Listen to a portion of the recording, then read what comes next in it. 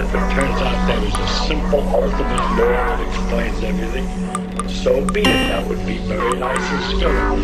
If it turns out it's like an onion with millions of layers and we're just sick and tired of looking at the layers, then that's the way it is. But whatever way it comes out, its nature is there and she's going to come out the way she is.